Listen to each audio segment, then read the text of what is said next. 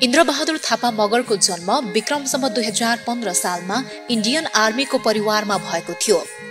हुने बिरुवाको चिल्लोपात भने जस्तै अध्ययनशील जिज्ञासु र जागरिलो स्वभाव उहाँमा बाल्यकालदेखि नै देखिन्थ्यो। अर्थशास्त्रमा पिएचडी गर्नुभएको उहाँ विद्यालय तहदेखि नै राजनीतिक तर्फ छुट्टै मोह राख्नुहुन्थ्यो। राजनीतिमा त म पहिले सुरुमा विद्यार्थी हुँदाखेरि चौध वर्षमा हो। चौध वर्षको उमेर हुँदाखेरि म के भन्छ यो त्रिचन्द्र क्याम्पसमा एडमिसन लिएँ एडमिसन लिँदाखेरि त्यहाँनिर त्यो विद्यार्थी पहिलेको युगमा के थियो भनेदेखि पहिले हाम्रो समयमा बाहिर राजनीति गर्न पाइँदैन थियो। क्याम्पसभित्र मात्रै हुन्थ्यो राजनीति जे जस्तो विद्यार्थी राजनीतिहरू। अनि त्यो बेलामा विभिन्न यो भूमिगत राजनीति कार्यकर्ताहरूसँग चाहिँ सम्पर्कमा आइने त्यो एउटा क्याम्पस चाहिँ एउटा स्रोत थियो। अनि त्यही बेलामा म पनि यो मालेको कार्यकर्ताहरूसँग मेरो भेटघाट भयो र केही समय एक वर्ष जति उहाँहरूको कार्यकर्ता भएर घुम्ने दुःख पनि पाइयो थुनामा पनि पर्यो। तर उहाँको पारिवारिक पृष्ठभूमि इन्डियन आर्मी भएकाले परिवारको चाहना अनुसार उहाँले फौजीबाटै आफ्नो पहिलो करियरको सुरुवात गर्नुभएको थियो।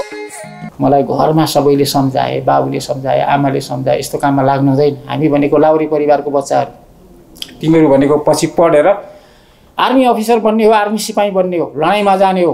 हामी भनेको वारियर क्लासको मान्छेहरू हो। यस्तो यो लप्पन छप्पन यो काममा पनि लागेर हिँड्ने आफ्नो भविष्य बिगार्ने भनेर भन्नुभयो। मेहनती लगनशील र इमान्दार स्वभावकै कारण उहाँको फौजी जीवन प्रगतिशील नै रहेको थियो तर नियतिलाई त्यति मात्र मन्जुर थिएन। त्यसैले राम्रो सेवा सुविधायुक्त इन्डियन आर्मीबाट दस वर्षको अनुभवपछि उहाँले उक्त पेसाबाट अवकाश लिनुभयो। इन्डियन आर्मीबाट अवकाश भएपछि दुई वर्ष उप प्राध्यापक चार वर्ष शिक्षक पेसामा आबद्ध हुनुभयो। तर कहिले सन्तुष्ट नहुने मानवीय स्वभावले उहाँ शिक्षक पेसामा मात्र सीमित रहन सक्नु भएन। जसको कारण उहाँ राष्ट्रिय तथा अन्तर्राष्ट्रिय व्यापार कम्पनी निर्माण कम्पनी लगायतका विभिन्न संस्थामा आबद्ध भएर कार्य गर्नुभएको छ। यसरी लामो समयदेखि व्यवसायमा रमाइरहनु भए पनि नेपालको राजनीतिक खिचातानी र अस्थिरताले उहाँको राजनीतिक यात्रा पुनः सुरुवात भयो। हाम्रो पोलिटिकल पार्टी अरू पोलिटिकल पार्टी जस्तो डेमोक्रेटिक पोलिटिकल पार्टी होइन। हाम्रो पोलिटिकल पार्टी अटोक्रेटिक सिस्टमले चल्छ। यसमा हाइराकी छ। अनि त्यहाँबाट अपर्च्युनिटी क्रिएट गर्दाखेरि चाहिँ मेरिटोक्रेसी छ। किन भन्दाखेरि मान्छे त बस्दैन नि त हाइराकी सिस्टममा त।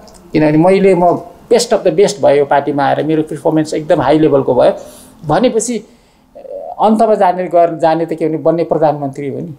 कुनै मान्छे सभापतिको छेउमा आएर उसको पिपिआर बिल्डअप हुँदैन नि त। उसले त काम गरेपछि त उसको लेखिन्छ। ऊ कुन सेक्टरमा काम गर्दैछ त्यो सेक्टरको इन्चार्जले लेख्छ उसको पिपिआर अनि ऊ मसँग नजिक आएर मैले के गर्न सक्छु? उसको पिपिआर नम्बर सबै सार्वजनिक हुन्छ पार्टीको मान्छेले सबै एक्सेस हुन्छ। वर्षै पछिको अनि हाल फरक सोच विचार र सिद्धान्त लिएर राष्ट्रको वैकल्पिक शक्ति स्वरूप नेसनलिस्ट पिपुल्स पार्टीका सभापतिको रूपमा रहनु भएको छ। मेरो प्राथमिकताको क्षेत्र भनेको त दुईवटा छ। एउटा यो जडीबुटी विकास सम्बन्धी त्यसमा हाम्रो कम्पनीहरू इन्भल्भ हुन्छ। अनि अर्को चाहिँ कृषि। कृषि भन्नाले के भने देश अहिले के भन्छ भने एट्टी फाइभ पर्सेन्ट चाहिँ परनिर्भर छ अहिले नेपाल। र यदि तिन महिना मात्रै हाम्रो छिमेकी देशको सिमाना बन्द गरिदियो भने हामी भोकै भइ भइहाल्छौँ। अनि एउटा कुरा याद गर्नुहोस् भोकको मान्छेले राष्ट्रियता जोगाउँदैन। पहिला आफू बाँच्नु खोज्छ। अनि मुर्दालाई देश चाहिँदैन। हामी दुइटै हुन्छौँ।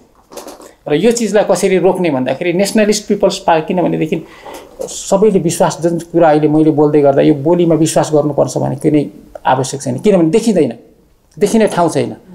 जब हाम्रो नेसनलिस्ट पिपल्स पार्टीको मान्छे सबै प्रोग्राममा लागेर उनीहरूको खल्तीमा प्रफिट सेयरिङको माध्यमबाट पैसा पुग्न थाल्छ क्वार्टरली त्यहाँबाट देखिन्छ।